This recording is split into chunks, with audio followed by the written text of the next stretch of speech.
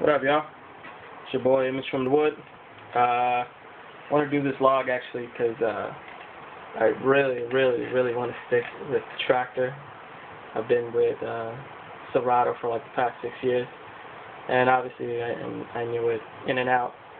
And I got Traktor, and I love it. I like the sound quality and all that. But explain this to me. May, I, I, maybe I'm doing something wrong, but explain this to me. Track is loaded. Okay. Record is there. Volume and everything. Okay.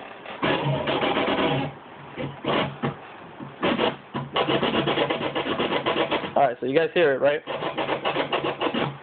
Okay. If I hit if I move the record really hard. But if I do this, it's moving, but no audio. Why?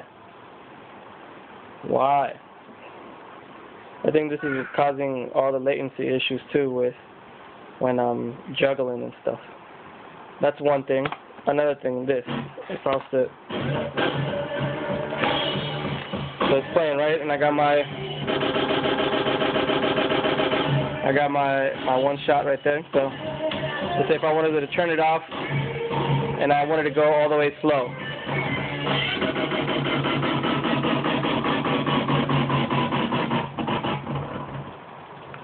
Still moving. I'm pressing the button. I don't hear nothing. Why?